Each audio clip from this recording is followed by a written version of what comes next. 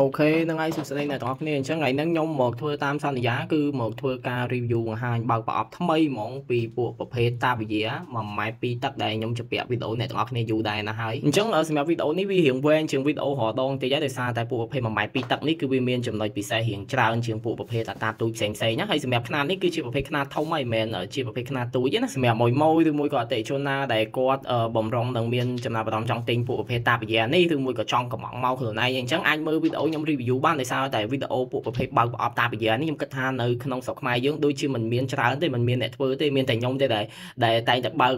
ប្រអប់ពួកប្រភេទតាបញ្ញាខ្នាតទូចនេះឲ្យអ្នកទាំងអស់គ្នាមើលអញ្ចឹងណាអញ្ចឹងកុំភ្លេចចុចបេះដូងម្នាក់មួយផងពីព្រោះអីដើម្បីជាកម្លាំងចិត្តខ្ញុំធ្វើវីដេអូបន្តទៅទៀតអញ្ចឹងអញ្ចឹងឥឡូវយើងចូលមកវីដេអូតឡើងហ្មងទៅហើយនៅក្នុងប្រអប់របស់វាហ្នឹងអ្នកទាំងអស់គ្នានឹងទទួលបានតាបញ្ញាគ្រឿងក្រៅហ្នឹងគឺដូចពួកប្រភេទទូចទូចដែរមានដងកើពីរមានកូនថ្មមានអីអញ្ចឹងទៅប៉ុន្តែអីដែលខុសគ្នាហ្នឹងគឺពួកប្រភេទ1ម៉ែត្រ2ទឹកនេះឈើវាគឺក្រាស់ខ្លាំងមែនតើតិចទៀតខ្ញុំនឹងវាស់ឲ្យអ្នកទាំងអស់គ្នាឃើញដូចអ្នកទាំងអស់គ្នាឃើញក្នុងវីដេអូនេះអញ្ចឹងគឺឈើរបស់វាក្រាស់ណាអ្នកទាំងអស់គ្នាសម្រាប់តាមវិញ្ញាណនេះអ្នកទាំងអស់គ្នាយកទៅខ្ញុំ recommend ឲ្យអ្នកទាំងអស់គ្នាតម្លើងគ្នា2ទៅ3នាក់ទៅស្រួលឆាប់ហើយអញ្ចឹងណាយើងដាក់ដោះមានអ្នកចាប់ជើងផ្សេងអីផ្សេងទៅវាឆាប់ហើយបើខ្ញុំតម្លើងអ្នកឯងវីដេអូនេះខ្ញុំថតចូលប្រហែលជាចង់1ម៉ោងខ្ញុំថាតម្លើង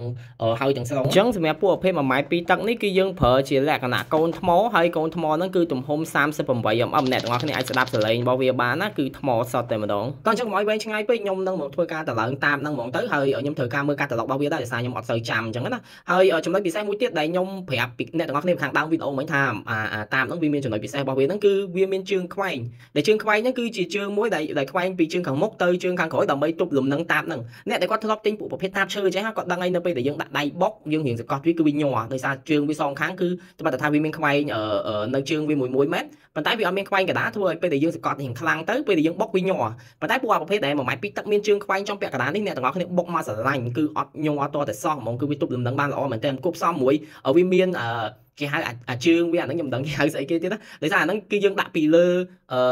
អាចុងរបស់ជើងវានោះប៉ុន្តែខ្ញុំអត់បានចាប់អាហ្នឹងទេនៅក្នុងវីដេអូនេះដោយសារខ្ញុំដាក់នៅលើអត់ក្រូខ្ញុំខ្ជិលដាក់អាហ្នឹងអញ្ចឹងទៅប៉ុន្តែអ្នកទាំងគ្នាយកទៅនឹងឃើញមានអាដុំជើងហ្នឹងមួយទៀតដើម្បីទប់លំនឹងវាមកតង់ទៀតពេលដែលអ្នកទាំងអស់គ្នាបុកគឺស្អិតហ្មងអត់អត់មានរង្គើអត់មានញ័រតណាទេពួក1ម៉ែត្រពីទឹកនេះអញ្ចឹងសម្រាប់តាមរបស់យើងឥឡូវហ្នឹងគឺហើយហើយខ្ញុំនាំអ្នកទាំងអស់គ្នាមកមើលគៀកម្ដងអឺដែលយើងនឹងទទួលបានហ្នឹងមានដងកើ2អំបោះបោតាមមួយលើចំនួន2កែងសម្រាប់រៀបកូនមួយនិង កូនថ្មទំហំ 38mm ហ្នឹងគឺមួយឈុតហើយអ្នកទាំងអស់គ្នាមើលសាច់ឈើនិងសាច់កណាត់របស់គេគឺ